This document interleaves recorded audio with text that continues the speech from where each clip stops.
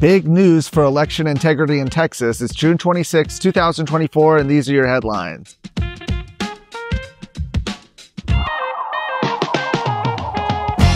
A new advisory from the Secretary of State could lead to pre printed, sequentially numbered ballots in many of Texas's counties, a move that many election integrity activists have long been advocating for.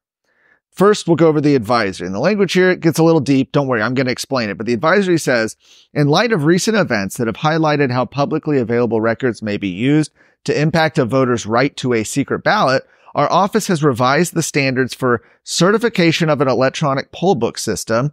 Those revised standards prohibit the generation of ballot numbers using electronic poll book systems or using peripheral devices that directly connect to electronic poll book systems.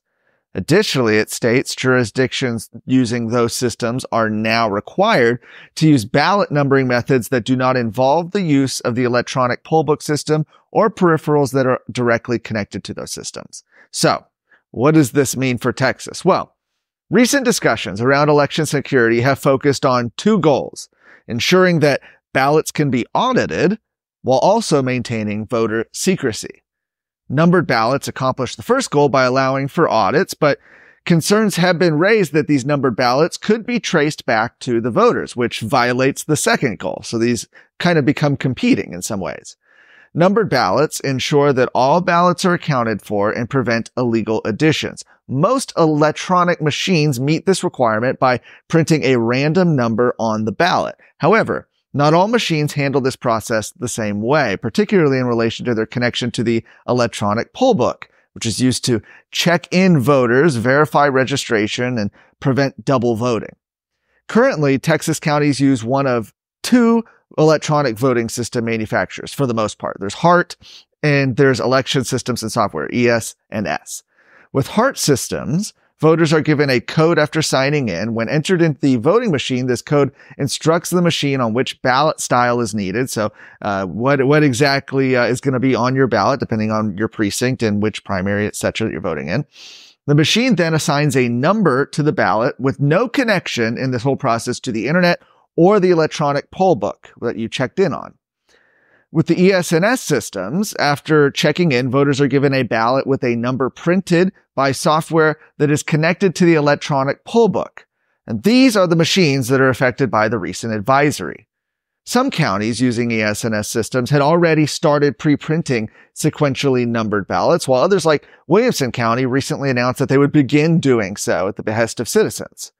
The Secretary of State's advisory now mandates this practice for all counties using ES&S, which includes about half of the counties currently in Texas. This week, the Texas Ethics Commission fined Harris County Judge Lina Hidalgo after finding she used public funds for political advertising. The complaint against Hidalgo stemmed from a press conference she held in her official capacity, during which she supported Harris County District Attorney candidate Sean Teare and opposed incumbent DA Kim Ogg. A copy of that press conference was posted to her official social media accounts and website. The videos were later removed after a complaint was filed with the TEC. She'll pay a penalty of $500, which by the way, pales in comparison to a lot of the penalties the TEC assesses to citizens and activists, uh, but an elected official, $500. Okay. Harris County has been beset with public corruption allegations, several of which revolve around Hidalgo. In April of this year, Attorney General Ken Paxton was asked to prosecute Hidalgo staff members implicated in an inappropriately awarded $11 million COVID outreach contract by outgoing DA Ogg.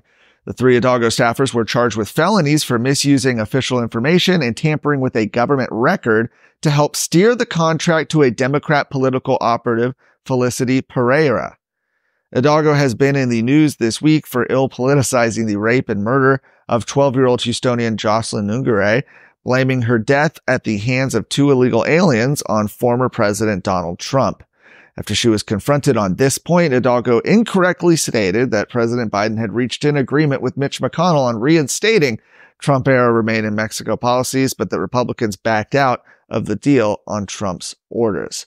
Governor Greg Abbott, in response, called Lina Hidalgo a con. Are you worried about your kid's future? You should be. I'm Charles Blaine with Texas Tomorrow. This is a show where we're going to talk about the issues and the people that are pushing the policies that concern your family, your home, and your kids. Catch Texas Tomorrow every Thursday. The Department of Homeland Security has confirmed that the alleged murders of 12 year old Jocelyn Nungaray initially entered the country illegally at El Paso, where they were arrested by U.S. Border Patrol and then released into the country. Franklin Pena and Johan Jose Martinez Rangel allegedly lured the young victim under a bridge in Houston after she reportedly snuck out of her home at night. The two then stripped off her clothes and assaulted her for two hours before dumping her body in a bayou. Both predators are illegal aliens who allegedly entered the country in El Paso at different times. News Nation Network correspondent Ali Bradley said on X that multiple DHS sources confirmed the suspects in the murder of 12 year old Jocelyn Nungaray are here illegally from Venezuela with pending court cases. One of them entered just 23 days ago.